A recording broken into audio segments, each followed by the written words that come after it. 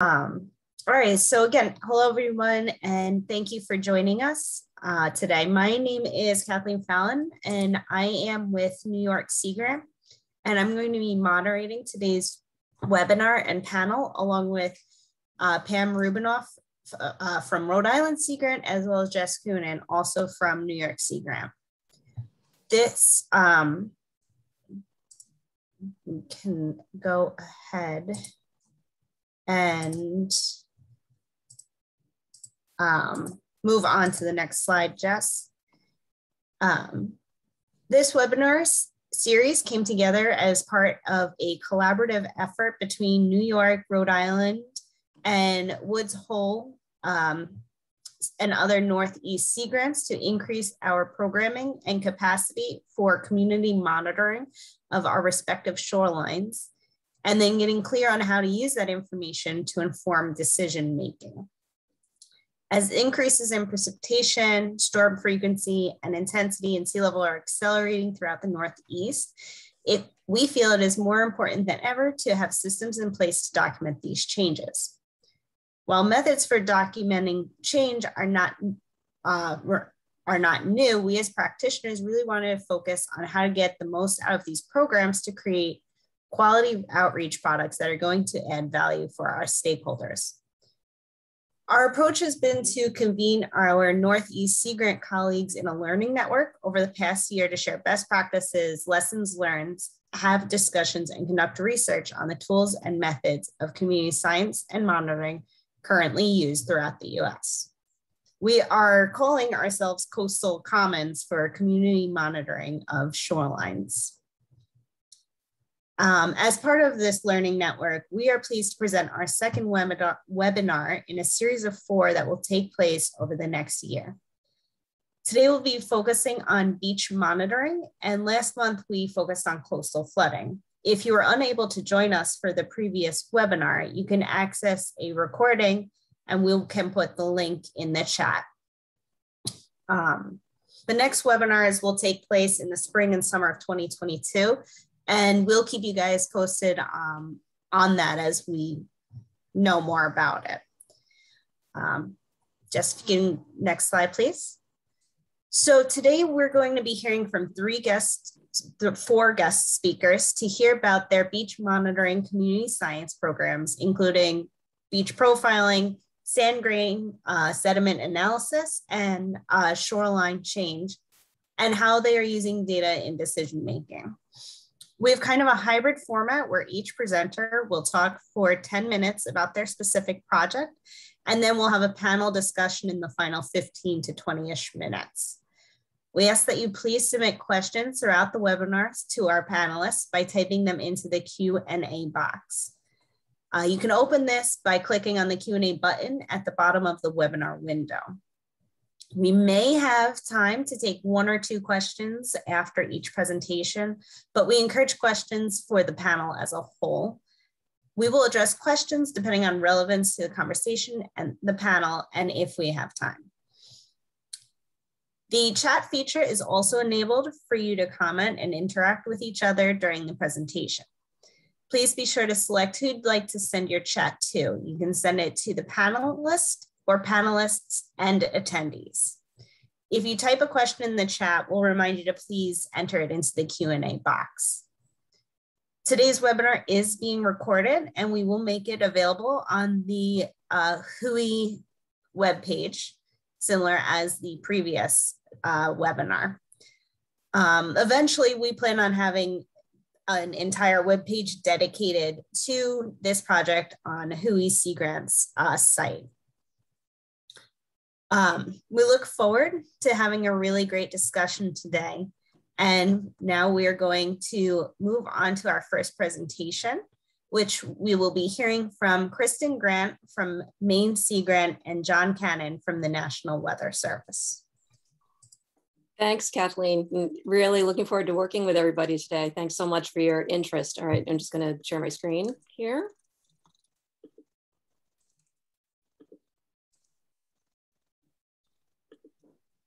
There we go. All right, so I'm gonna take everybody on a quick tour of the Southern Maine Beach Profile Monitoring Program, and I've already been introduced. And for those of you that don't know, you might be asking yourself what exactly is beach profiling. So it's a um, simple surveying technique that's used to measure the contour of a beach. And in our case, the um, program was started in 1999 as a Sea Grant funded research project, actually.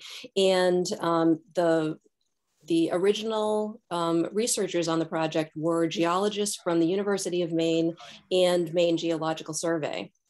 And um, the project is supported by the partners you see here, the Wells Reserve, Maine Geological Survey, Maine Coastal Program, um, my organization, um, and really importantly, the participating cities and towns where the beaches are located. But the program is really only possible due to the uh, roughly 120 volunteers that we have working um, in teams on our uh, southern Maine beaches. And um, I was really happy to see that um, some of those volunteers are actually joining us on the webinar today. So uh, welcome to our uh, beach profilers from Maine. Really glad to have you here.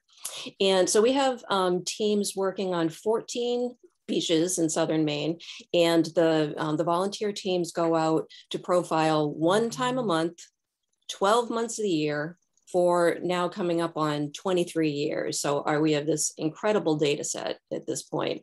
And the goal of the program is to develop a record of change on our beaches to provide an understanding of coastal processes to inform beach management, which is obviously what we're here to talk about today. So um, what I'm going to be spending most of my time on, and then you know John Cannon after me is what those beach management decisions are. So I'm going to give you um, a few examples here. All right, so the first stop is to talk about the State of Maine's Beaches Report, which is produced by our Maine partner, um, Maine Geological Survey.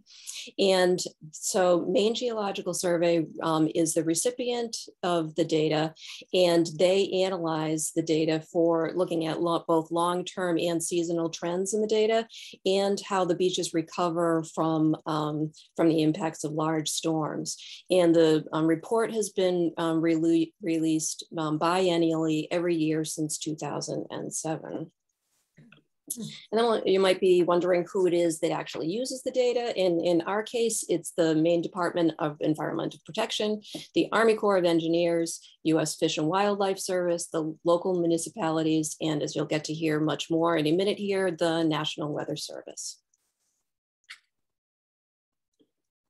All right. And I also wanted to take you on a tour of a few specific examples of how the data has been used. But before I do that, I'll give you sort of a laundry list of um, the major categories of the ways that the, the data gets used. So I'll just read you from my list here. So the data has been used and continues to be used for tracking long-term trends in erosion rates and associated flood risks, designing dune restoration projects, evaluating beach nourishment options and effectiveness, guiding management planning for harbor dredging, monitoring management of endangered species such as um, piping plovers and least terns, estimating the capacity for beach recreational use, and um, investigating new erosion mitigation um, technologies such as here in Long Sands Beach in York, the um, development of, a, um, of an innovative um, seawall which was um, the largest seawall reconstruction and redesign project in the state. And it uses a tiered design that helps to, um, to break up the wave energy so that it does less, in, in, less damaging impact on the beach and the road immediately behind the beach and the buildings immediately behind the road. Not to mention the infrastructure um, in the road itself. Another example is uh, from Camp Ellis in, um, in Saco, where um, the beach profiling data has been used to track the, um, the erosion that's occurred after beach nourishment was placed at Camp Ellis um, in order to, to determine that the the nourished, the sand that was used to, to nourish the beach has been in fact um, migrating north. And so the use of the data is helping us to understand just exactly what the longevity of um, nourish, beach nourishment to our beaches is. And the last example, uh, Gooch's Beach in, um, in Kennebunk, Maine. And in this case, um, the Army Corps of Engineers is using beach profiling data to, as a reference for an environmental assessment that's been um, being done to, um, to explore um, repairs to the jetties at the mouth of the um, Kennebunk River.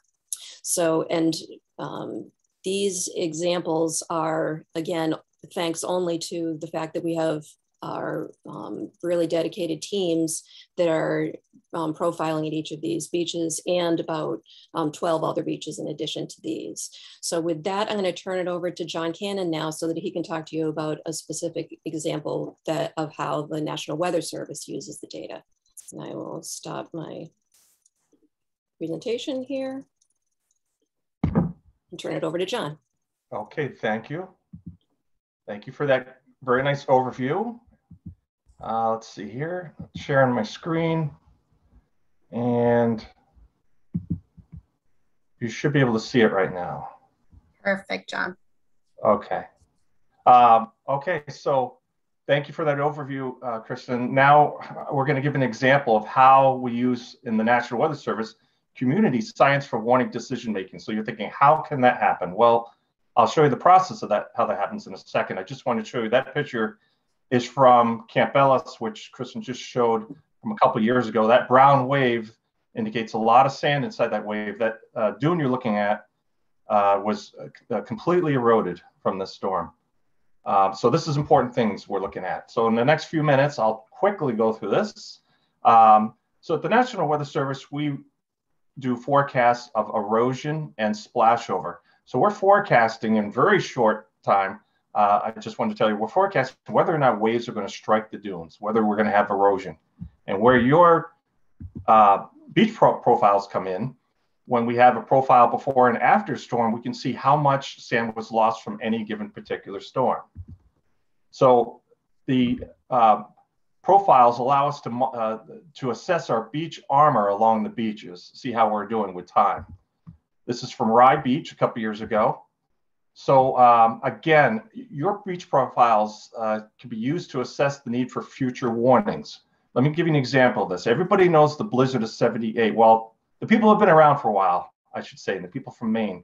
Very famous blizzard. But there was a storm before that in January that which wiped out the dunes, wiped out the boulders along the coast. So when that February blizzard of 8 storm came, there was no armor left.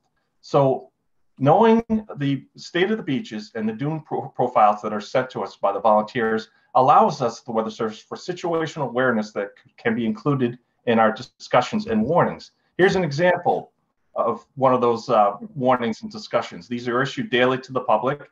Um, we had a storm and we put right in the statement that the beach profiles indicated significant erosion over recent months. Therefore we may be more vulnerable to erosion and splashover at this time so when we know there's going to be problems along our coast due to previous storm surveys and forecast models, uh, we can issue early warnings. That leads to mitigation efforts. That leads to the Department of Public Works, uh, CERT, Citizen Emergency Response Team activations, reverse 911 code reds out there. So your your play in this is, is, is part of the whole process of the warning process. So the flood mitigation and all that is, starts with the, with the partially with the dune survey, surveys. We also do storm-based dune surveys. So I just happen to have a copy of when you're going to be issuing, uh, doing your, your, your beach profiling. In fact, December 2nd through 6th, there's a period coming up. And in rare occurrences, I will ask, ask for an, an additional storm survey to be done immediately after a storm or immediately before the storm. And what that does is it allows you to take a snapshot of what happened, what type of erosion was due to that storm. Sometimes you have to take a snapshot like that because the beach will naturally replenish itself over time, or it can over time. So it's nice to have uh, two profiles within uh, a storm. So I wanted to give an example of how this all works. Uh, we talk about nor'easters all the time. Nor'easters, nor'easters, they're, they're famous up in New England and all that. But occasionally we do have a southeaster. And southeasters are due to very warm waters over the Gulf of Maine. It allows for mixing and strong winds to reach the coast, as opposed to an ordinary nor'easter. Uh, and we've had plenty of warm water winters the last few years, uh, record warm, as a matter of fact. So uh, the January southeaster shifted impact locations. We're used to having impacts in certain portions along the coast. For example, we always hear about Camp Ellis and Ferry Beach. Uh, Kristen mentioned it. I already mentioned it. There's Ferry Beach with the X in the upper left-hand corner. And if you have a strong southeasterly wind, you're blocked by the islands. So that when you do a dune, dune profile immediately before and after the storm, uh, there wasn't not much change at all. So the normal places that do get slammed really hard were protected. So it was a change in where the locations were. Gooch's Beach is unfortunately uh, a flip side of the coin where you are exposed in portions of the beach to a southeast wind. And if you look at the dune profile for this particular southeaster, there were extraordinary changes from one pro profile to the next, um, looking at lots of uh, erosion along the coast. Hampton Beach, I wanted to show you an example, uh, example of a southeaster in New Hampshire. They report the erosion a little differently, just one interesting to show. Uh, this particular southeaster had about two meters of, uh, of uh, sand loss along the entire uh, uh, line along the top of the beach.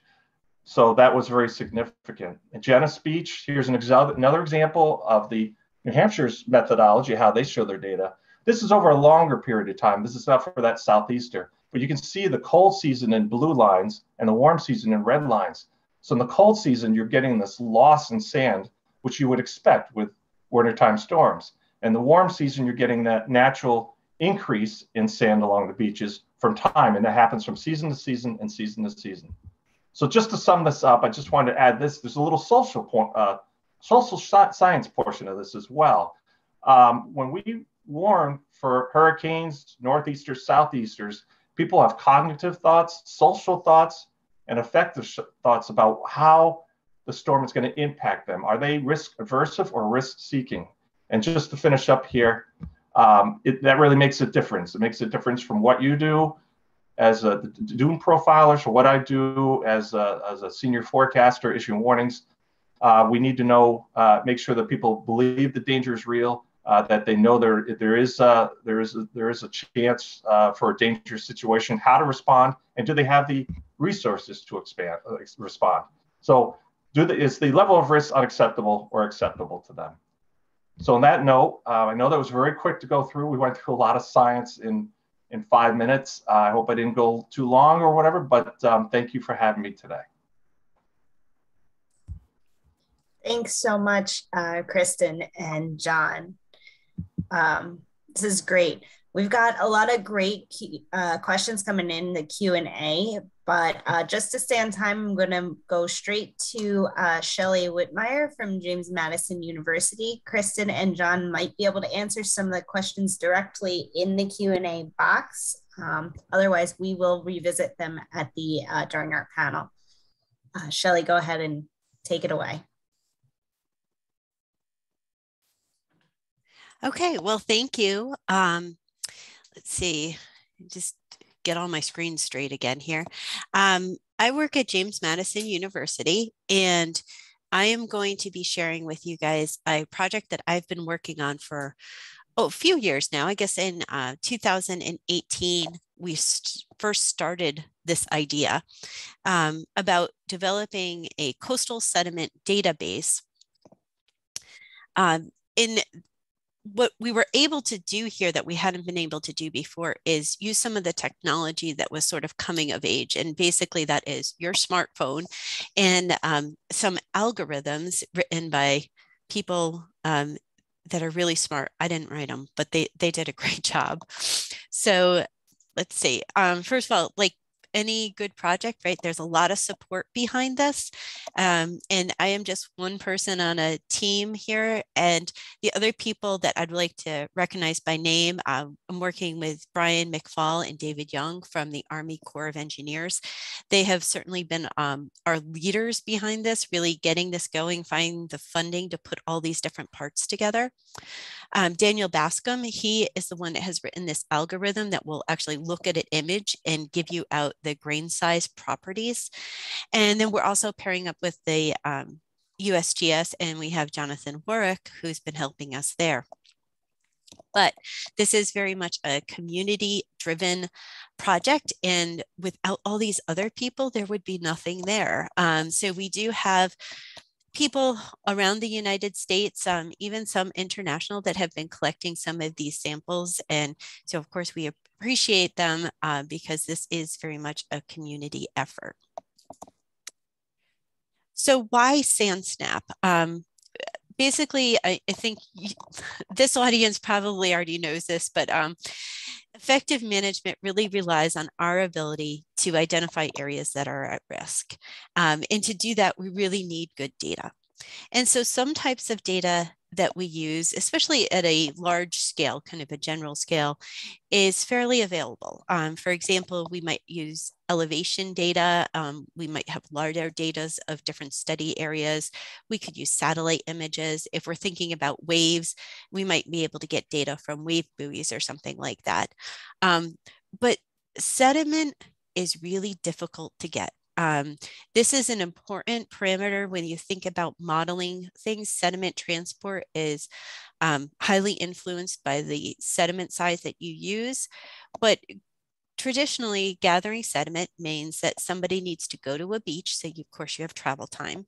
They have to collect a physical sample and they have to bring it back to a lab and sieve it. And i'm sure any of you that have sieved sediment um, can understand the tediousness of this.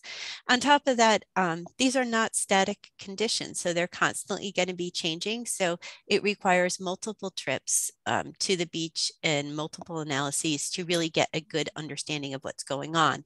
So we're really looking for a way to fill in this gap with data. Okay.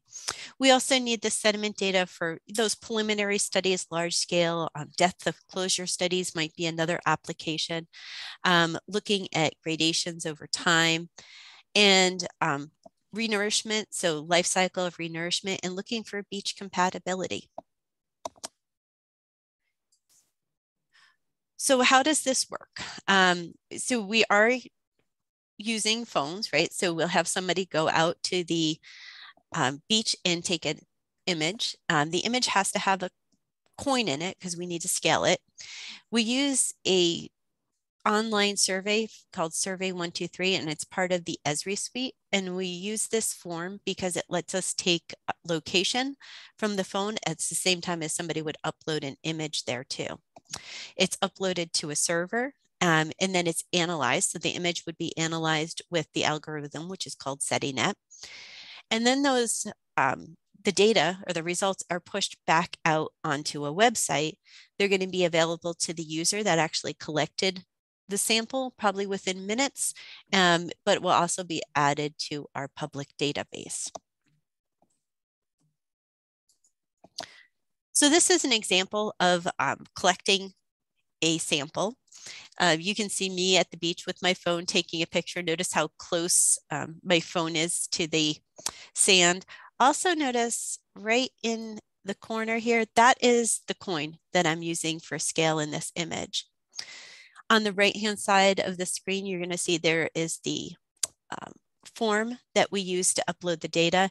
Um, you know, the, you can call this website up on a desktop, but it's not going to do you much good because we do have um, the GPS data. So, you know, if you call this up on your phone, you could just tap that and it will take your location. We also ask the users to fill out a little bit of a form just to get some background data because just a quality check sort of. So make sure your latitude and longitude are reasonable. You might fill out something like beach name and just say like Jones Beach. And then, you know, if we find out Jones Beach and your latitude, longitude's in Africa, we know something's wrong with that sample. So it helps us quality check. We also ask um, some specific details about like where on the beach you are, whether it's the berm or the dune. And we ask that because I think the GPS on your phone is not that accurate. So it kind of gets the right beach, but it might not know where you are on the beach. Uh, we also have information about samples. So some people will be collecting data like a physical sample at the same time they take the image and we use that to actually train the model. So uh, we have a place to put in that information also. So this is the database that we have currently. Um, we have about 30, or sorry, 300 samples. And you can see they're mostly within the United States with a couple international samples we have there.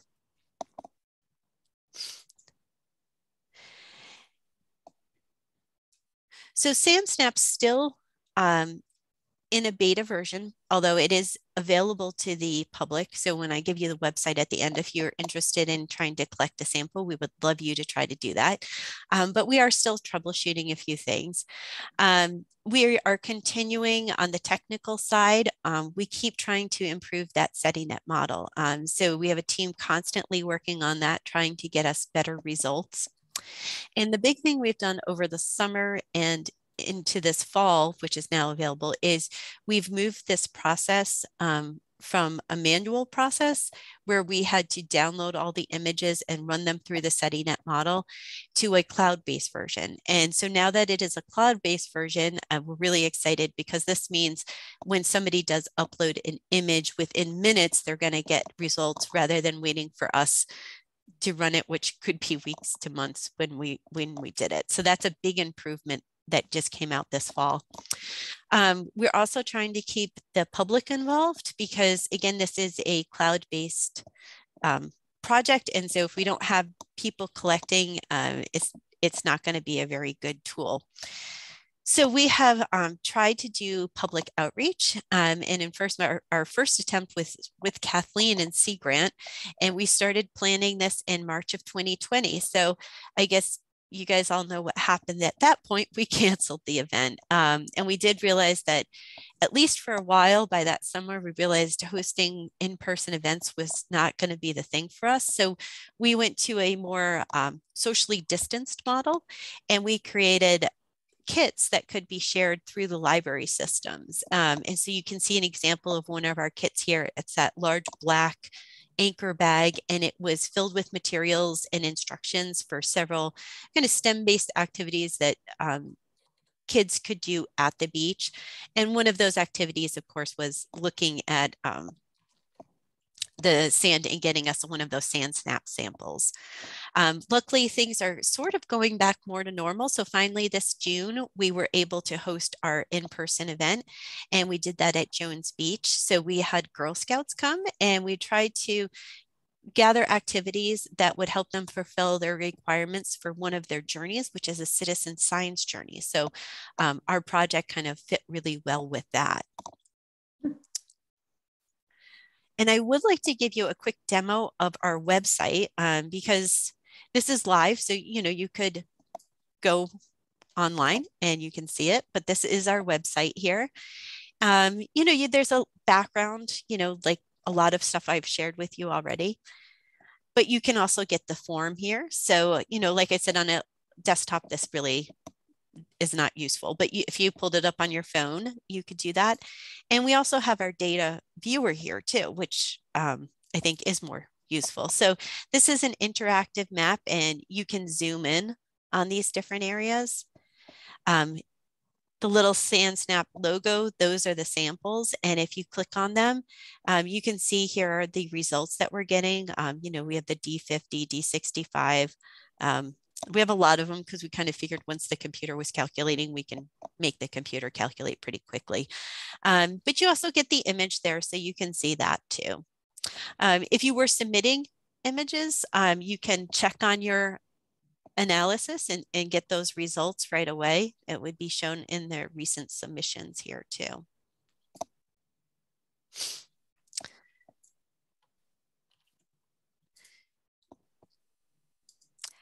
And then the last thing I want to share with you is just our future plans here. So um, unlike Kristen and John, our project is really kind of in its infancy here. And so we're really, I'm happy to be here because we want to share this tool and the hope that more people are going to be using it. So we will continue to try to promote it. Um, as this database gets filled up, we see a lot of opportunities to share this data. And so we are looking into K-12 education and how we can get this out to the teachers in a meaningful way with lessons that address the standards they need to address. And of course, we'll continue to share this um, on our website so anybody could download the data and work on it there.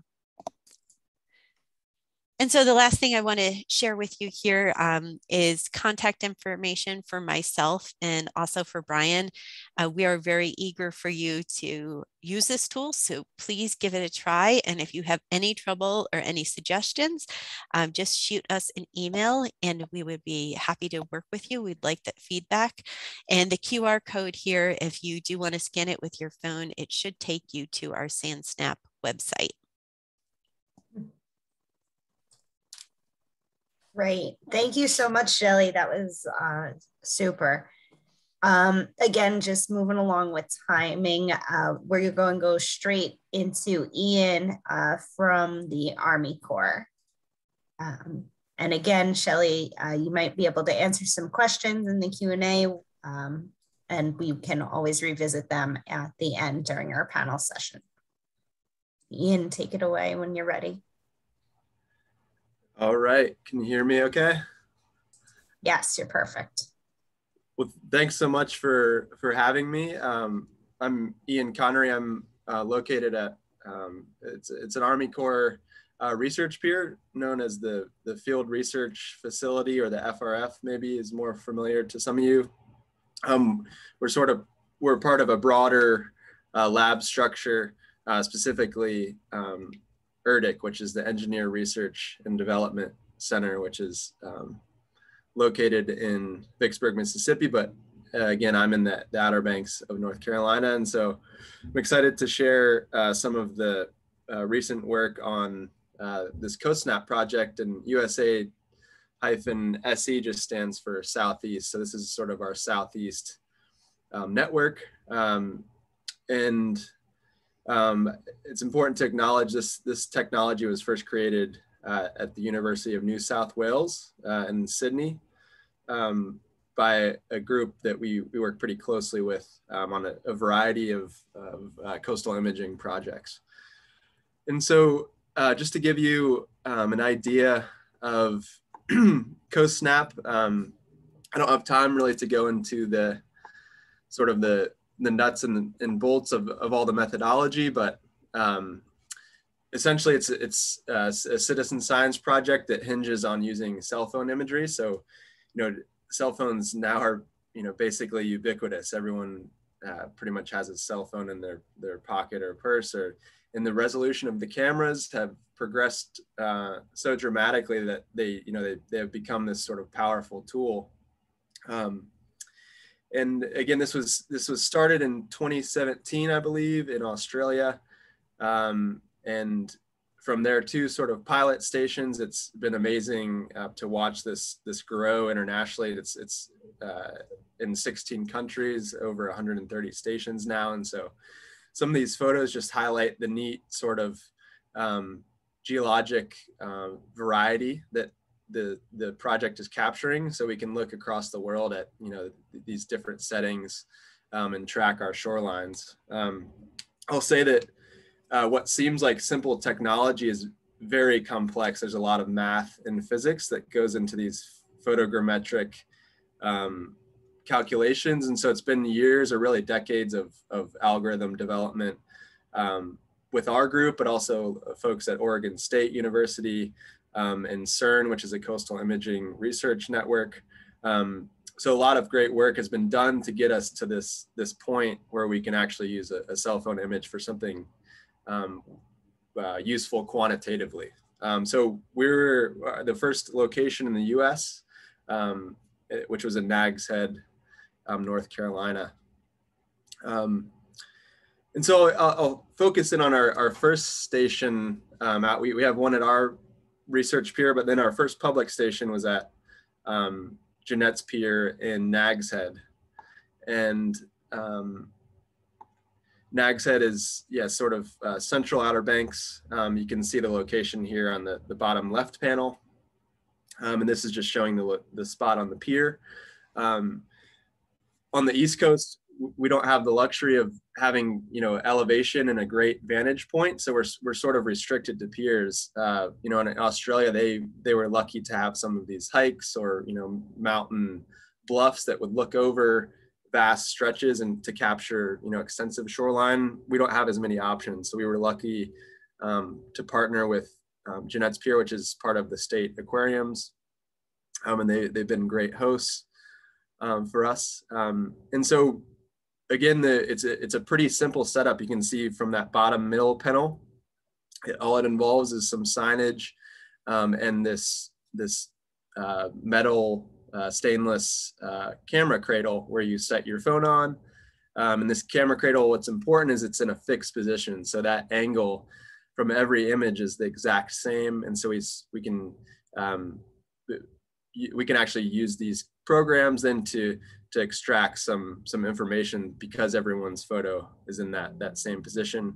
Um, our fabrications team at the the pier is great, and they they build us these little mounts um, that we can you know adjust to depending on where your area is. And so the the bottom right image is just showing an example from that Jennette's Pier um, station. Uh, so then, sort of behind the scenes is uh, I'm showing this this screenshot from uh, uh, MATLAB and the and panel C there in the top right. Uh, behind the scenes is where the all the complex um, calculations happen. Um, and right now it's in a, a GUI or graphical user interface, um, but essentially you um, are loading your image um, and you click a few ground control points, which I'll get to in a second. Um, then the algorithm um, automatically picks out the wet and dry boundary based on pixel properties. And from that, uh, then you, you're going from a uh, sideways looking image or oblique image from your cell phone. We're going to convert that to a, a map uh, map space so we can actually pull numbers um, from it. And so you can see that map uh, that's generated on the, the, the right, um, the top right panel. And so then we can use the map product to compare um, different shorelines in time, um, depending on what we might be interested in. So without going too much into the methodology, uh, I think one of the most critical aspects is having these, these ground control points. And that again allows us to go from a sideways looking image um, into a, a map into map space. And so we go out with a, an RTK GPS or a LiDAR system to collect um, these different fixed points in the field of view. And those are just shown by the, the arrows. We, we climbed up gazebos and um, hotel rooftops for elevator shafts, all that sort of stuff. Um, and then we also made this composite image you can see on the right uh, by wading around in the water uh, with a target. And so we added some additional control um, since our frame is dominated by water. And so all these points then have a, an exact, very precise location um, that we can use to rectify or essentially tie it into a, into a uh, again, map space. And so uh, we, we started uh, again with our, our first station at the, the field research facility in the, the top right there. Um, and then late 2019, we, we installed our first uh, public station at Jennette's.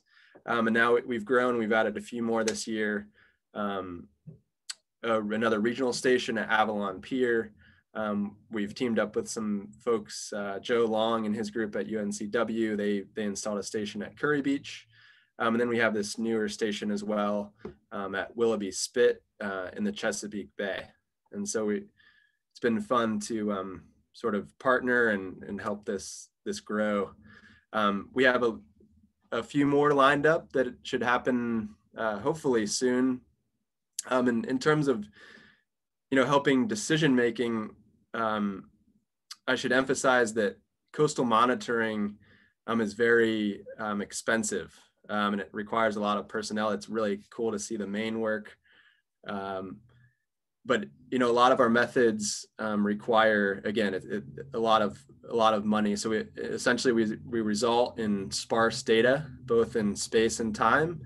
And with sparse data it's hard to um, plan your beach projects or modify your beach projects. And so the idea with CoastSnap is to add some sort of supplemental monitoring data um, using you know citizens. So it's it's free data and it, it takes minimal processing. So it's it's really sort of powerful um, it has powerful potential for for helping you know coastal managers and planners um, capturing a variety of different uh, management actions. I've highlighted some of those at the, the Virginia Beach Pier. They have, you know, sand bypassing happening and um, inlet dredging and federal nourishment cycles. So it's really important to understand how these, these systems are changing from storms and just with, you know, seasonal dynamics.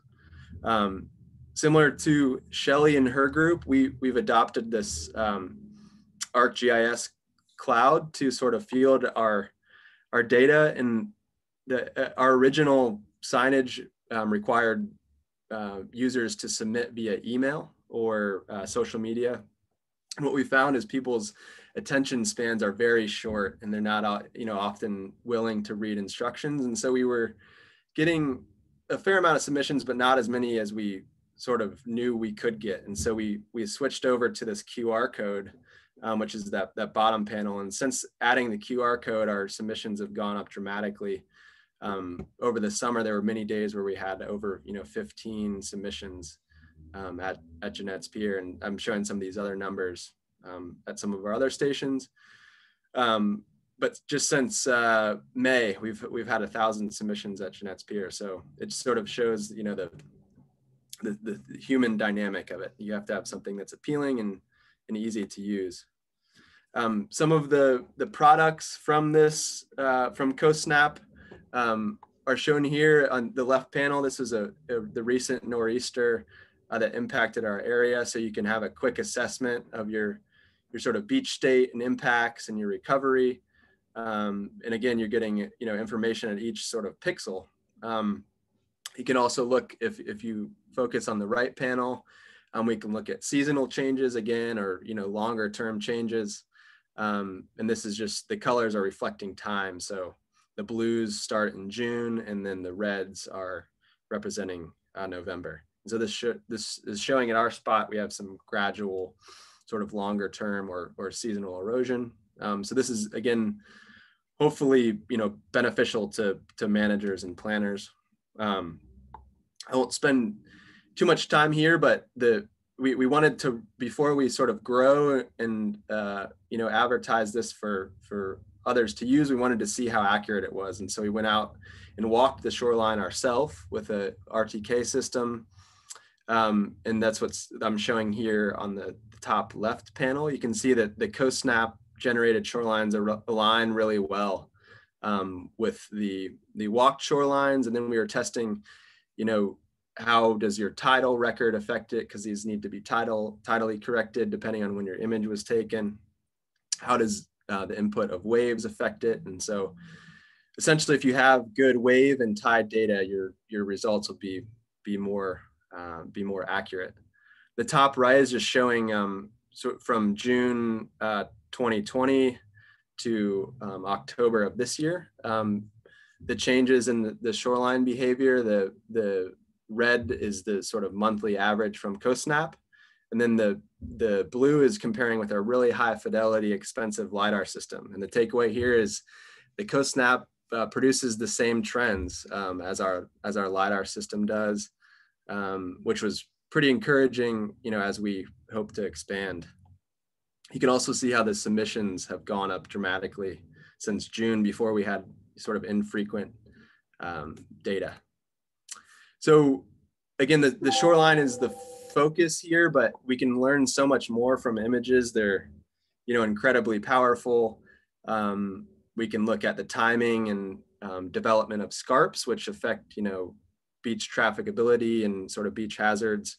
We can look at, you know, grain size uh, or sedimentology. Maybe we have these darker heavy mineral layers. We can look at different shapes. We can look at um, you know how high the water reached during a storm we can look at um, vegetation coverage a, a, whole host of things um, beyond just shorelines we can um, look at qualitatively so lastly we we've uh, had a lot of fun doing some outreach um, with some summer camps and then we're you know we've started to team up with different teachers to try to grow our stations um, and uh, with that i think i'll I'll wrap up here. Just a couple of quick time lapses made in Adobe. Uh, the left is from Willoughby Spit and the right is from Jennette's Pier. Um, and you can see, especially on the right, uh, panel how the how dramatically the beach changes just over the course of of a year. Um, here's my email, so feel free to reach out if we uh, don't have time for questions. Great.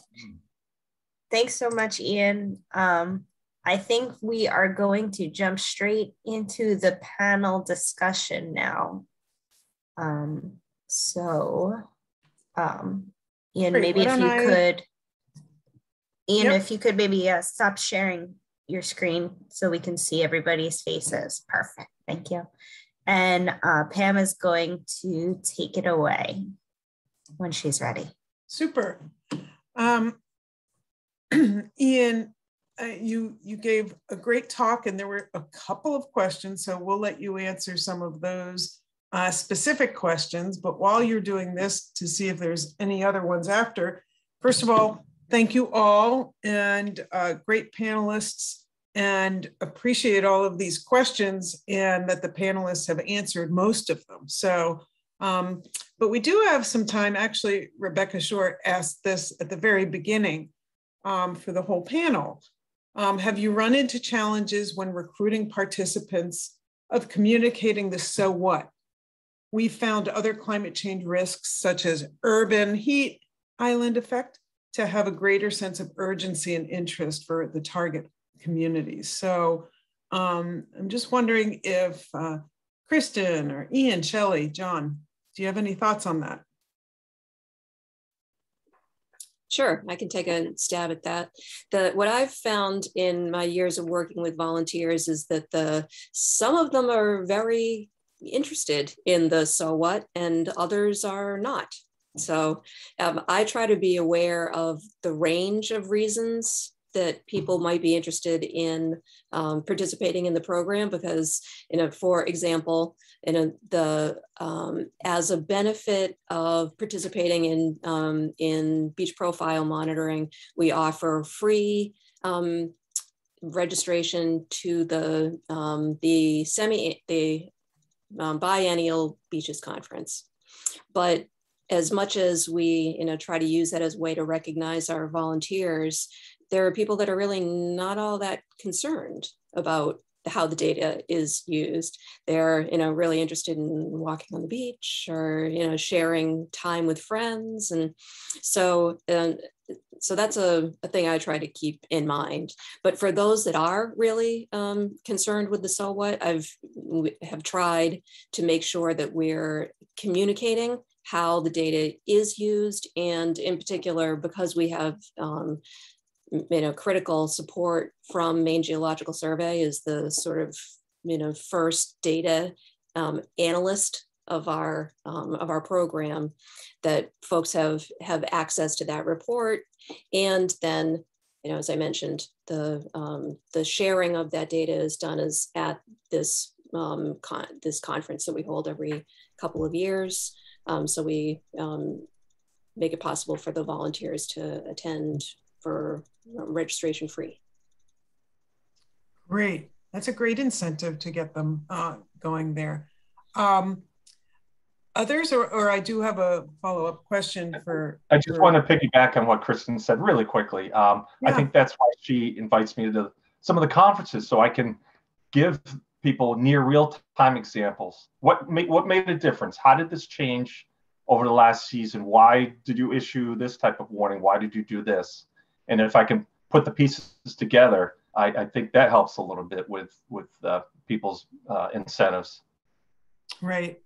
So as a as a um, as a follow up to that question, so um, in order for the community to benefit, you know, you've just talked about how this data is being used to some extent in preparation and, and data reports and such but how do you really give it back to the communities and to the um, to the volunteers? Some of those reports are a little hard to get through. I, I haven't read those in particular, but others. Um, so I'm just really trying to understand how does the community benefit and how, how do you facilitate that through other kinds of um, data or, or synthesis? Pam, is that directed at John and me, or is it? Well, no, I think it's a, in general. You know, each one of you had some great information, um, and a lot of that is good for conferences and and people uh, like ourselves. But you know, for a municipal planner, for a volunteer in the neighborhood, what um, what benefit does it give to them, and how how can they receive it best? Well, there's a webinar coming to you for hopefully for our um, volunteers in the near future. Where Maxwell and uh, Kristen are working on it now, and and after this meeting, we'll be setting up a date in December to do a follow up for the volunteers who are interested, or any anybody for that matter. Super. Yeah, so just to just to sort of elaborate on that, there for our volunteers, um, we with our current volunteer coordinator, there's been a um, an effort to put together what, what we're calling learning sessions, and it's sort of um, coincident with COVID and you know moving life online, so that that um, it, it gives us a chance to get together virtually with folks. Um, so those, I, don't know, they've happened three or four times now over the course of the last year. Great. Thank you. Um, there's just a, another question here about quality assurance. Um, so there was a question from Rebecca, do volunteers have to get certified and are all the data uh, entries reviews, reviewed by a staff person before um, it's officially submitted or used. So I know that John said that he reviews things a couple of times a year, but just in terms of most of the data. Yeah, by the time I see the data, the uh, the coordinator in in our case for Maine has reviewed the data and gone through the data. So by the time I access it, has been reviewed, and he he does do training. Kristen could probably answer to whether or not there's an actual certification process. I don't think so, but there is a, a training aspect to it, both online and in person, or it used to be on in person. Mm-hmm. Yeah, Great. I don't want to suck up all the you know the airtime with you know a focus on beach profiling here, but so no, there's nothing as formal as a as a certification, but there is a um, after recruitment a training process with the um, with the volunteer coordinator and then the support you know that happens with the team members as that you know person joins the team.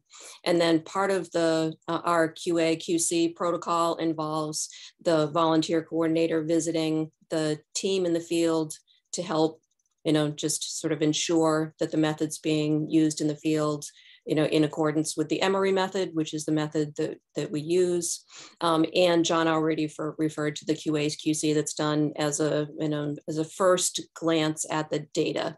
So the data is entered into our online data system, and then a series of data is looked at um, in coordination with the newest entered data in order to identify any outliers. If there are outliers, the volunteer coordinator follows up with the team and tries to correct the, um, the error if there is one.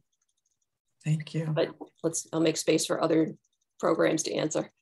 How about uh, Shelley yeah. or, or Ian? Uh, Pam, I was going to say, um, I think it's really interesting to hear about all these other projects because I do think um, there is a big difference between what Kristen and John are doing with beach profiling. And Ian, I'm going to throw you into my category and you just tell me if you don't want to be there or not. But uh, about the amount of training that our volunteers need. Um, you know, uh, to collect a beach profile, that's pretty significant. I mean, you do need training to do that. And, you know, I know I've done it myself, depending on how big you are, uh, the, your survey is, you're looking at what 20 minutes plus travel time you know to get there Whereas what we're doing with SandSnap is really like snap a picture. Like once you know how to do it, I mean, we're looking for seconds of somebody's time. Um, so the training is really low. And I guess our there, there's two things that may that I think about is our way of looking for participants is very different because we don't require the training. And it also is different in how we quality control too. We're pretty much going with the cloud sourcing message that if we get enough data, we're going to be able to weed out the bad data from people that are completely untrained. And um, a lot of this has to do with the algorithms that we're running and that there are quality control checks in it. Um, and again, this is not my specialty with the coding, but they do little things like look at how elliptical is your coin versus circular and then they know if your camera was crooked and they look for how blurry that image is and things like that so um, there are some quality controls um, that are very automated and we're also look hoping that we can get enough data that the bad data kind of like gets um, covered up with the good data. Maybe that's the way it is. So, so we're going for like a mass data collection. Um, but it's also a different way of motivating people too, because, um, you know, we're not looking for people that are really looking to put a couple hours into doing this. We're looking for people who happen to walk by one of our signs and will just take a couple minutes to do it. Um, and that's, it can have some positive effects in that our cost to get our volunteers started is very low. But there's also the bad side of that is there's not much payback for them, right? They took a picture and they uploaded it. Like getting somebody to care about what your grain size is I've actually found it's very challenging. I mean, uh, I think it's great. I mean, I love sand. I, I, made a career over sand, right? But not everybody shares that interest with me. So, um, trying to share that with the general public and seeing why this really is important and we need their help can be a challenge. Great insight. Um, clearly, the differences between the, the, different kinds of program, the different kind of training, and uh, the, the different purposes. But um, you're you're absolutely correct that each each program really needs to adapt um, their, you know, in terms of their QA, QC, what does that really mean um, for each one? And that's going to be very different for, for each program. Ian, did you have anything to add? Um, yeah, our, you know, ours is simple. We, we, we don't need training as long as you know how to take a, a photo from your cell phone and, and uh, we'll scan a QR code. Um, we have, you know, some, there's a manual component still. Uh, in, in matching these images, we have to click four points um, in our program. So by the time you download it, you have maybe a minute per image, but we're hoping as we expand to automate everything um, just so we don't have to, you know, individually manage it. Um, and so that way, you know, that all, everything would be done uh, behind the scenes. And that, so that's sort of the focus of our next work unit um, is is how to, which will make it you know more approachable to expand. Um, Great. Well, thank you. Thank you for all of the participants um, answering some great questions. We got most of them. Um, we'll take a couple minutes for our our part our panelists to see if they could add one more answer to it, but I'm going to turn it back to Kathleen. Thanks, Pam. Um, yes, we'll leave the webinar open, but I know just based on time, most people might need to be jumping off for their next meeting. So thank you all for attending. Uh, just put an evaluation link in the chat. If you guys uh, could take a few minutes to fill that out, that would be great. Um, and we will be following up, uh, sending out a follow-up email that will include the recording link, um, the awesome links that the of these different projects um, and panelists contact information and all of that. So uh, feel free to continue the conversation beyond this webinar. It was um, really, really great. So thank you, Kristen and John and Shelley and Ian for attending and sharing all of this uh, great information with us. We really appreciate it.